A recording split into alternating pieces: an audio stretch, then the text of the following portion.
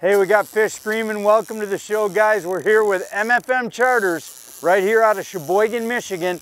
Port of Cheboygan is a few miles that way. We're just setting rods. Already Captain John's got a fish. Stay tuned.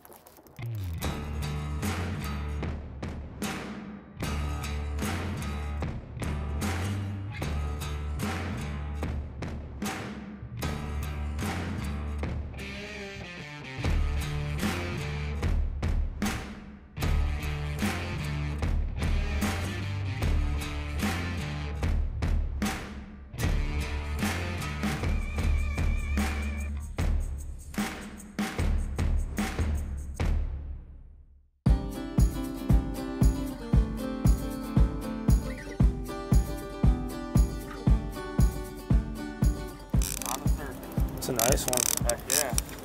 On your side. I'm gonna come around over here. You're being recorded. It's a nice fish. Good. Yeah, 'cause he hit the surface, he took you right back down. Yeah, he's going right down. Hopefully he's not into our diver. I'm watching the diver. I'm not Doesn't seeing look like it. it's moving. It's not does it? moving, nope.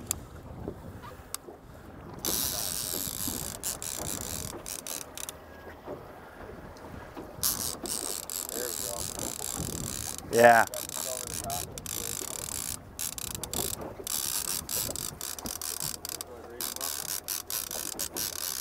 Oh! Nice one. It's a pig. Oh yeah, he's moving. It's a pig. Let. Hold them up and show people what Cheboygan, Michigan and the charter business will get you here. Didn't take long, did it? No, it didn't. In the sunshine of Cheboygan, Michigan. Yeah. See them orange fins? The things glow.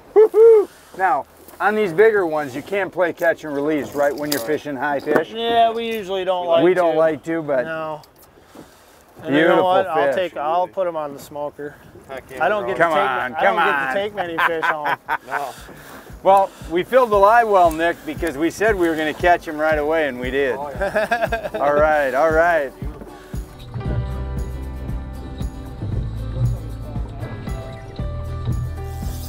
We had the board surge back a little bit, and then it looked like the fish came off. Looks like there's a fish on popped up out there, yeah. We're uh, we're checking the rod, and this is a perfect example of what you got to do when you're out here fishing. You can't just That's assume the fish came off. Something on it. See him out there. We got a fish on a small one, and you know you drag them around for three hours and not catch nothing on that rod. So when you see a fish hit and the board starts acting funny, trust the board, reel it in. Oh yeah, I see his mouth now. Oh yeah.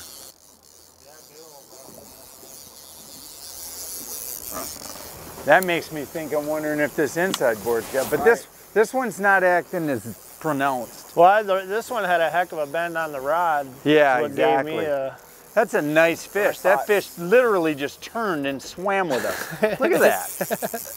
That's crazy. When I saw the board swing back out, I thought maybe something had come free, it would clear it up. Welcome to Cheboygan. You know what this is? Cheboygan, Michigan smoker. Yep, we love those. Sunburst Wow. Up Beautiful. up high. Up high. high. That's, that's how you know it's a good color right there. Pattern in them. Beautiful. Look at this fish. You can tell when it's colder water too because these fish don't die. They're Yeah. swimming in the live well. Yeah, And uh, that's one of the cool things. But hey, when you come to the port of Cheboygan, what you have to expect is that this port is a lot of times calmer. You see behind us, uh, this port settles down really quickly because the prevailing winds in Michigan are west-southwest. And of course, being on the northeast corner, the very tip, we're only about 20 miles from Mackinac City and in the bridge by water. So what you really got to look at here is that this is a spot that you can come often. This isn't a spot that you have to pick your days real carefully. We're typically sheltered from big weather here. So this is a real option if you've got a charter trip on your mind. Cheboygan is a perfect port. It's an eclectic little town. It's got great eateries, great beer and wine places. It's got awesome people. Cheboygan, Michigan. The Fisherman's Digest is brought to you by Strike King Lures, tie one on. Lew's, feel the difference. And Wave Pro, best ride on the water.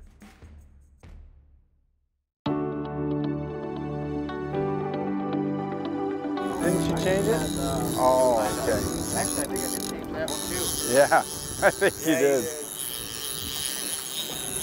Five more minutes. Exactly. Suck count our chickens before they're hatched. Look at fish on the screen, 67. See what we're doing here? This is why you got to have a good Garmin. There's a great big, there's a shallow reef right here and a great big feeding flat. This whole triangle is about 65 to 70 feet and all the rest of the structure is real pronounced. So this is a big flat. You see the fish laying right up on here. They come up from deep water and they fish and they find fish and food on this great big flat. You want to look for pieces of structure like this that jut out and create almost like a great big table. And we're going to show you the results of paying attention to your Garmin right here. Cheboygan, Michigan fish. That's right. You know, talk to us a little bit, John, about, you know, there's different strains of lake trout, are there not? Yeah, there's a couple different ones. I know we have for sure the Mackinac strain and They're really the bright, other- right? Yeah, the yeah, orange, the real bright orange orange fins. fins. You can really tell the difference. Uh, the other strain, I can't ever remember the name of it. Who cares? They taste good yeah, on the smoker. they taste, yeah, they're yeah. dandy. And and a lot of people talk about lake trout, you know, in the past of being greasy and stuff. Lake Huron fish aren't that way, are they? They feed so much on gobies. Yeah, they're eating all the same diet as any of our salmon and any other of the good Exactly. table fare. And you find you find if you're not gonna eat them right away the same day, fresh smoking's a great way to. Oh yeah, that's probably my favorite fish on the smoker. Exactly. To you know, you little can. more. Oh, there we go. Yeah, and you can. The other thing you can do with smoked fish too is This once you, be a big one. Yeah. you know, one of the things you can do with smoked fish, a lot of people don't understand is you can smoke it and then backpack it in Oh, yeah. whole fillets and freeze it. Oh, yeah. And a lot of people talk about lake trout and salmon species fish not tasting good after they're frozen. If you smoke them first Yep, and then put them in seal your it. back, back sealer, Absolutely. they taste exactly the same. And you know what? There may be nothing better for an appetizer than a little chopped up minced celery, onions, a little mayo. Making me hungry, John. I know, and, and some Ritz crackers. Just kind of oh, swimming Oh, there's with fish, us now. fish on the bottom here. Trying to get them to come our way. They always want to go in the divers. Well, he thinks he wants to swim past the boat. That's a quality oh, fish. You know, one of the things that, that as you're watching John land this fish, you know, these are quality fish. These, these aren't just your little run-of-the-mill Lakers. These are No, really they're all- nice We fish. usually get some really nice Lakers out here. Beautiful. Got them. Oh yeah, dancing anchovy. Another quality Cheboygan, Michigan lake trout. Exactly. And you know, that bite starts, John, right away after, starts right after ice out. And, and it Oh, goes all the way until until you can't Till I stand the pull my boat temperature. out Exactly. Yep. There's a there's an example, guys. Go to John- change my lure, and you're in Cheboygan. There's always a fish on when you grab Well, a what, rod. one of the things you showed me too, and I learned this years ago, is when you pop a rigger, when you pop a rigger, and we'll talk about this right away afterwards, you just put that, Yeah, I just That's- changed it. and I didn't think it was doing on. anything. Was gonna put it, go to another spin doctor and exactly, and we, have we- one on. Got it. and one of the other things that you did there, John, is you popped the rigger and held it. Yep. Don't just crank it Nope, up, I always make sure because a lot of times I've done it before. I popped that rigger loose and didn't have a fish, and a fish came up and hit it after I Exactly. release it off of the downrigger. Nice little eater right there. Clip fin. Oh yeah. It's dorsal, so it's got a chip. Yep, microchip fish. Cool. We'll, we'll be cutting the head off of this one, and Send it in. Sending Send it it in, in with help the the DNR. DNR to track the fish. yes, we have to do that to keep our fishery. Black So when you're side. set, when you're setting, John, explain how far out do you do? We got our, our Traxstech rigger system. For for a beginner, you've got that spin doctor. How far out before you put it on your ball? Uh, usually when I'm targeting these Lakers, I like to keep my spin doctor maybe 25 feet behind that ball. Okay. I like to keep it nice and tight usually. Sure. And that's just an attractor. They come in and they smack it yeah, when and I've had fish hit the attractor and release off the downrigger. Well, and you said that earlier that you saw one came in and hit the paddle Yep. because he whacked it, but he didn't get Didn't, hooked, which yep. he, they're hitting the paddle. Oh yeah, Beautiful. that happens quite a bit. Well, another 70, 70, 75 foot fish, which is what seems like 70 to 80 has been the catch zone. Yeah, it's been a good number today for All sure. right. Yeah, it's you were just going to change it. It's- Yeah, I was. No, let's not change it. The Fisherman's Digest is brought to you by Offshore Tackle, leaders in trolling technology. Traxstech, the ultimate fishing system. And Garmin.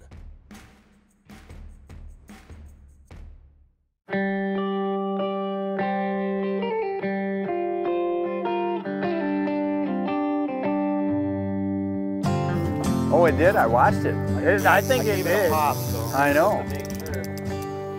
Yeah, it just, Oh, it's just dogging, dude. that's a good fish too. That's If- a good Even if fish. the diver's not released, that's a good fish. so what depth were we? 80. Right in that 80 range.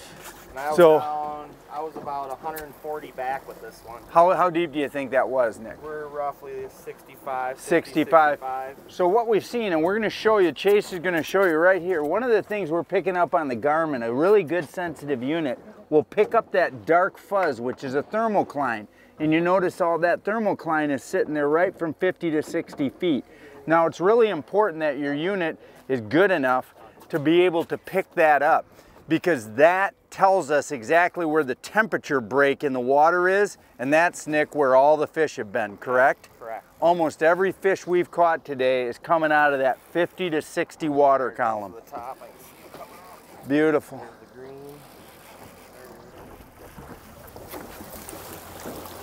Beautiful. Little, little nice griller. We like that though. Yes, we do. We utilized a few critical pieces of equipment on the boat today to catch these fish here out of Cheboygan. Probably the single most important thing you can have on your boat for trolling is a reliable rail-mounted rod holder system. Now I use the Traxstech products. This here is a downrigger. It ended up being the hot bite lure for the day, paired with a Dreamweaver and a little spin doctor or a, um, or a spin and glow or a fly. It just didn't seem to matter. If you were on a rigger with a with a spin doctor, you were catching fish. So we got the, the rigger here. We got our down dipsy. We pulled one. When you grab your rod, that ratchets up just like this one's in right there. So you got room for two down dipsies. And then of course a triple bank for today we ran lead. This also works great if you're flatlining for walleyes or you're running copper for salmon. So basically we've got room on the back here for seven rods aside, one rail mounted system, all completely removable just with a couple of little uh, turns of the nad. You can just pop it right off. There's a cutaway here to pull it right out. It surely is. It is Oh, oh, oh, got him. It is. beautiful. It is. Let's leave it right in that. Another Dreamweaver. Wow, that is, that is awesome right there. Another nice little clean fish. Look at that. I tell you what, Atomic L Live. these fish, these fish want this stuff.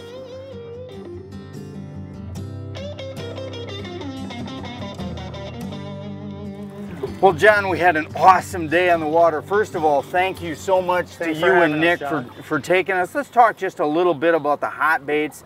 Talk to us about this Dreamweaver uh, spin doctor paired with a spin and glow. And I've got one here on the other side with a whirly gig that we ran off the rigger that did so well. What do you think makes this so effective? Honestly, I think today, with the with the way the sun was hitting this clear water, I think it had a lot to do with this tape. I mean, they can see that coming from.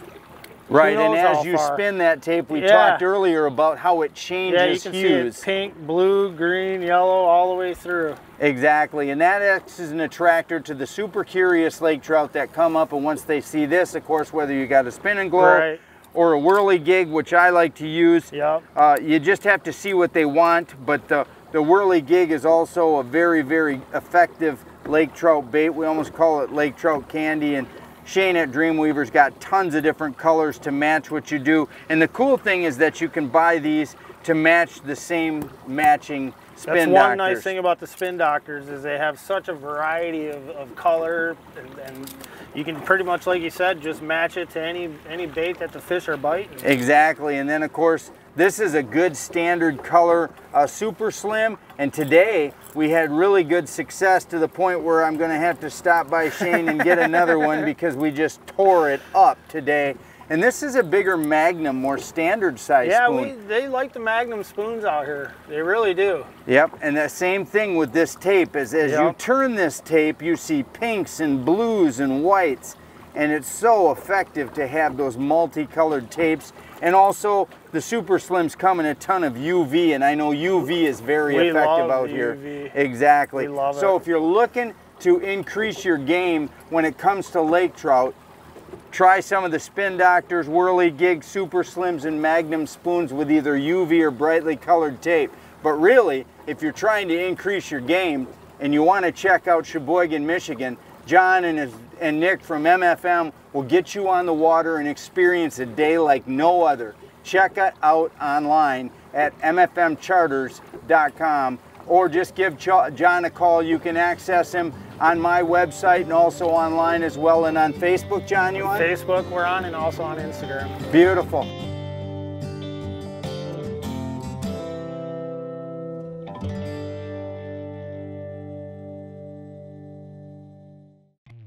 The Fisherman's Digest is brought to you by Crestliner, forged with strength defined by durability.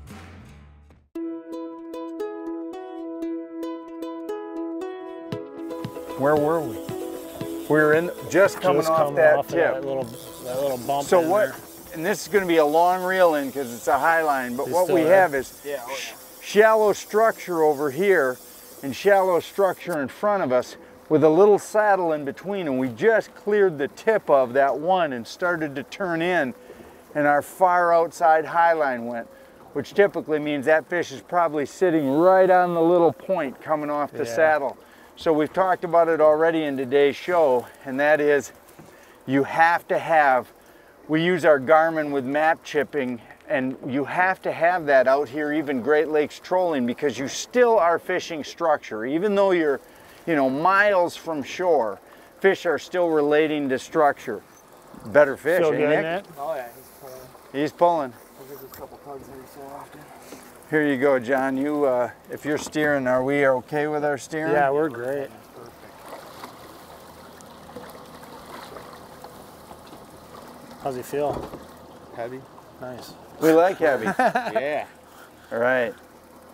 We brought Nick because I was bass fishing last week and my hands were cramping up. And uh, Nick, Nick is uh, Nick Best and mate John. in the business. Exactly. Nick and John work together on MFM charters here out of Cheboygan, There we go. Head shaking now. Oh yeah. and they're going to put you on fish. That's the biggest thing. Is people have ignored this northeast corner of Michigan for so long, and you and I Hidden chatted. gem. Oh, it's it to me has got with inland lakes like Grand Yep. and Long and Hubbard, and then you slide north to Black and Mullett. You fish Mullett oh, aggressively. Oh, yes. Some Burt Lake, and then of course Cheboygan here, the Nice port of. Cheboygan. Coming right oh, at Oh you. yeah, that's a really nice one. Sunburst. Oh yeah, in Woo! the net. Sunburst. Show that one. Favorite color. Trout. Oh, go ahead. Oh Oh yeah, Got some in them. got lots of life in them. Nice Beautiful fish. fish. Beautiful fish. Look at the light. Look at the colors. Welcome to Cheboygan. Exactly. 10 colors of lead, so we got about 300 feet behind this board. And that's why I let John grab it. Yeah, he, I seen him. He went for it, but he read that He number said, on there. Beautiful. Rig. Got me sold on it almost. Well, I tell you Wow. what, we turned. I haven't reeled a 10 color in a while. We we turned. Uh, I'm loving this.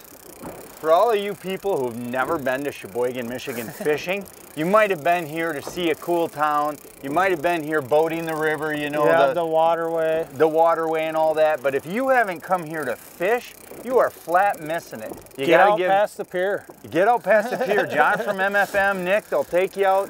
They'll show you what we're seeing right here, which is clean, clear, perfect Quiet. water, filled with fish, and good luck seeing another boat. There's no other boats out here. It's crazy. Couple freighters. Couple freighters, but everybody loves a freighter. Right. You know? We like orange tails. That's a Mackinaw, right? Yeah. Oh yeah. Woo! Little. Ah! Whoa. Wow. And John, show that coloration of that fish in the sunlight for those people. The difference of oh, the Oh, it's a good strain of fish. Yeah, this is a Mackinaw. You get that real deep orange color and how orange and, and just really beautiful the meat is Oh, on these fish. absolutely. almost like a tangerine. I mean, he's just nice and look at the girth on that thing. We got him today. Hey everybody, thanks for joining us here out of Cheboygan, Michigan with the crew from MFM Sport Fishing Charters. Check them out online, but most importantly, get up here to Cheboygan, enjoy the beauty, quiet small town, accommodating We people, love it. and silly good fishing. Yep, come and get Silly. 'em. Closed captioning brought to you by Wave Pro. Best ride on the water online at waveproshock.com.